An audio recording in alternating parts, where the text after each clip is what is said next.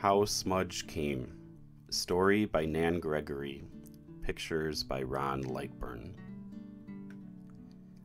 This is the title page. If there's one thing Cindy knows, this is no place for a puppy.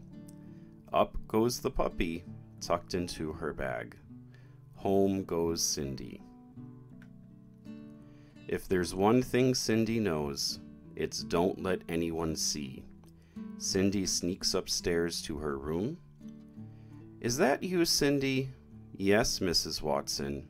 You're late. Dinner's getting cold. Right there, Mrs. Watson. Puppy goes under Cindy's bed. At the big table, everyone is eating already. Cindy fills her napkin with stew for the puppy. No dessert, Cindy? No thanks. Her chair squeaks as she pushes it back. Up in her room, Puppy eats hungrily. Dear little puppy, crooned Cindy. If there's one thing Cindy knows, this is her dog. Knock, knock on her door. Cindy? Into the closet goes Puppy. The door opens. They never wait for her to answer. Cindy, John is drying the dishes. You can put away. Cindy concentrates on the plates. Don't break a plate, Cindy. Think about the plates, not the puppy. Back in her room.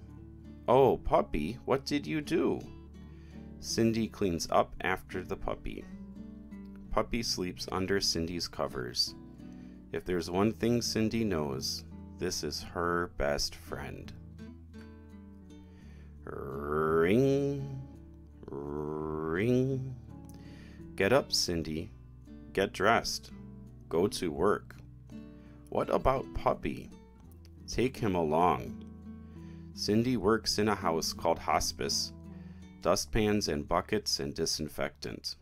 Up and down the halls, in and out of all the rooms. Cleaning, cleaning, cleaning.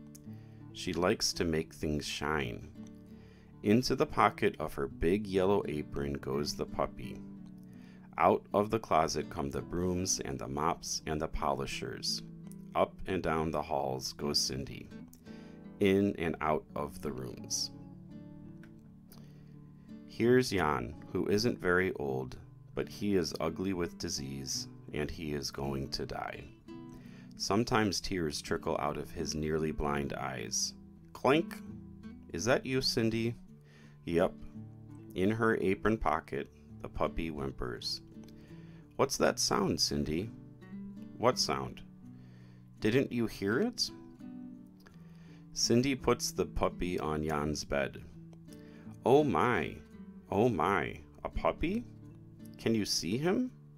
Not really, just a smudge in the dark. Cindy smiles her slow smile. Same when I first saw him, smudge in the dark. At lunch, Cindy eats her sandwich on the back lawn. Smudge eats a bit of bread and sniffs around, then back into the apron for the afternoon. When Cindy gets home, people are shouting, Cindy, what's going on in your room? What did you have in your room last night? Cindy's not telling. Her lips are tight and her eyes are squinty. She breathes through her nose. Cindy, stop being silly. Cindy is leaving now. Someone blocks her way. Someone opens her bag. Hands snatch the puppy. Smudge! Cindy, be reasonable. Now that they have the puppy, everyone is reasonable. You can't have a puppy. You can't take care of it. You work all day. What would the puppy do all day while you were at work? Take him with me, Cindy says, but they drown her with their words. She tries to tune out. SPCA, she hears. Good home. She will not weep, but tears squeeze by. She starts to hum. Go to your room, Cindy. Next day, Jan props himself up. Where's Smudge? What would the puppy do all day? You can't take care. You can't have a puppy. Cindy is furious. Jan lies back. After lunch, Cindy is back in Jan's room. What's SPCA? A place that looks after animals until someone comes to take them. To a good home? That's right, Cindy snorts. Where is it? I'm not sure. East side somewhere. Cindy brings the phone book. Find it, please, Jan. Cindy, I can't see. I can't read the phone book. Who then? Carmen, maybe. Cindy finds Carmen in the TV room. Carmen writes the address on a piece of paper. Cindy folds it carefully. It's far away, but Cindy has a bus pass. If there's one thing Cindy knows, it's how to get around.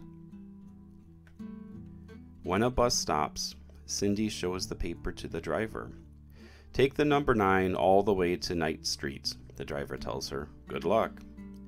SPCA keeps Smudge in a cage. The floor is hard and cold. He lies on papers. Good home. At closing time, the clerk tells her, Come back on Saturday at 10 if you want the puppy. I'm getting Smudge on Saturday, she tells Jan. They give him away on Saturday. Saturday is chore day at the group home. Cindy, what's wrong? You usually like to clean. Dusting done, Cindy is gone like a leaf in the wind. She is panting at the desk. I've come for my dog. Which dog is that? My puppy. Small and black. Smudge. Sorry, all the puppies went this morning. Come back next week. We're sure to have more. Cindy sits in the park for a long time, but the hurt won't stop. Every time she breathes, if there's one thing Cindy doesn't know, it's how to find that puppy. Crying won't help. Cindy makes a whistle with a blade of grass between her thumbs. Here, Smudge. Here, Smudge. There's no place to go but home. Cindy, there's a phone message. What does Cindy care for messages? She lies on her bed and hums. Cindy, they want you at hospice house first thing in the morning. You aren't in trouble, are you? At hospice house, everyone is in the living room. Jan is up. Jan never gets up. Carmen, too. Is the TV broken? What's going on? Is there trouble? If there's one thing Cindy doesn't need, it's another scolding. She starts to tune out. Cindy, we have something for you. Cindy, look. Something soft is in her arms. Something cold nuzzles her chin. Cindy opens her eyes. Smudge! We'll keep him here, says Jan. For you, Cindy. For all of us. If there's one thing Cindy knows, this is the perfect place for a puppy.